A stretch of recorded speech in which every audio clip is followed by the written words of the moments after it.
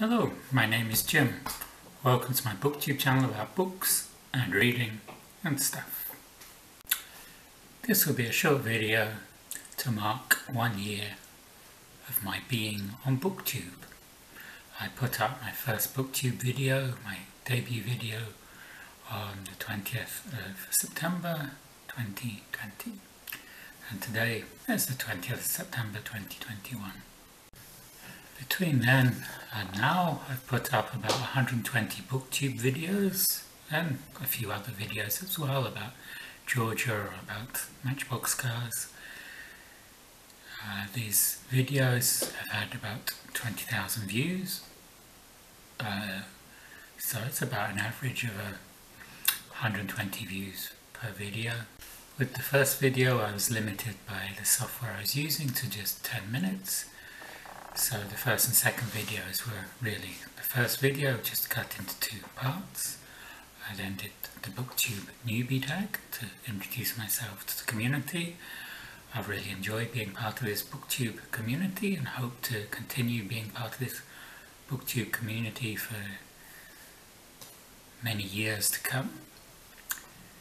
Uh, then there was October, which was Victober. There's been a lot of different projects and themes on booktube over the year. Uh, Victober, in October, the celebration of Victorian literature. There was Black History Month in February. There's been the Invisible Cities project where we read books from different countries. I haven't been involved too much in that. I did read a book from Madagascar when Madagascar was one of the chosen countries. I also read Gabriel Garcia Marquez when Colombia was one of the chosen countries. And there's also been Book Trek 2021, and I've been watching a lot of Star Trek. I did read one Star Trek book, and that's my limit so far. The video I put up about that hasn't garnered many views. I don't know if I'll be reading any more Star Trek books, but we will see. Of my top videos over the last year, the first one is not a booktube video, it's about living in Georgia. The second one is my most popular video for booktube today, which was Georgian Literature 101, where I looked at Georgian literature in English translation.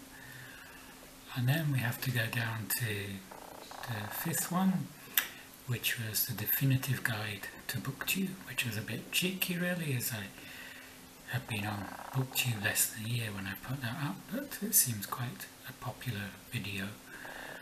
And then my debut video got quite a lot of views. It also got me the most subscribers the largest number of subscribers. I now have almost 500 subscribers so that's looking good booktube staples like TBRs, wrap-ups, book reviews and tag videos, lots of tag videos and if you've been following this channel you know I've created my own tags based around the alphabet. First I did three tags, the A to J tag, the L to R tag and the S to Z tag with one prompt for each letter but more recently I've been looking at each letter in turn and coming up with 6 to 12 prompts for each letter.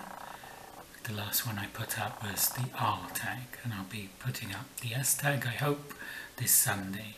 I put out a video every Sunday at 8 o'clock Georgian time. I also put out one or two videos in the week but I haven't had a set day for those. If it's one video it usually goes out Wednesday but if it's more than one video, it may be any day. This one I'm hoping to get out on Monday because it's the day of the anniversary of my channel. One of the good things about BookTube, there's so many recommendations from other booktubers. My reading has got increasingly diverse. This year, the 53 books I've read have been by 55 different authors. I've read a number of black American women for the first time like Alice Walker, I read Meridian on Hannah's recommendation. I've also read Beloved by Toni Morrison last month, and I've read Octavia E. Butler, and I'm hoping to get to N.K. Jemisin very soon. I also find I'm picking up some expressions I never used before, like that isn't my jam, like romance isn't my jam, and that book has been on my radar, or that author has been on my radar.